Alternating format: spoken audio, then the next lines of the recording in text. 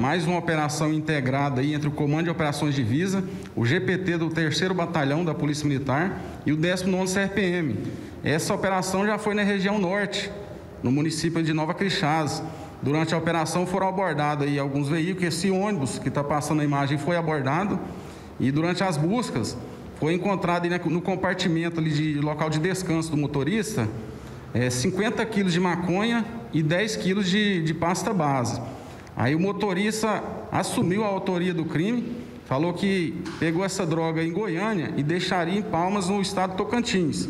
Disse ainda para a equipe que teria feito algumas outras viagens antes dessa, teria levado mais.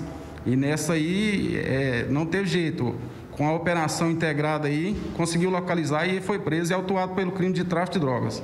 Ou seja, é um ônibus interestadual, né, que estava indo para o Tocantins e não tinha nem como ele negar, porque a droga estava no local que só o motorista tinha acesso. Sim, positivo. A droga estava no compartimento no local de descanso, né? Porque são, o normal, esses ônibus interestadual, são dois motoristas, vão se revezando, enquanto um está dirigindo, o outro está descansando. Então, estava nesse, nesse local de descanso.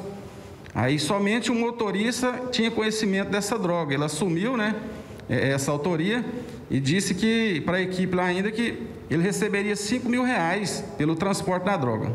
Olha aí, então agora até os motoristas de ônibus, né, é, entram no radar da polícia também. Né? Se já não bastassem os passageiros que constantemente a polícia pega com drogas, agora até motorista de ônibus também é, estão entrando nisso aí. Quero agradecer aqui, capitão Luiz Alves do COD, que é o Comando de Operações de Divisas. Parabéns pelo trabalho. Levo abraço a toda a equipe aqui da, da abraço nosso da Record para toda a equipe, capitão.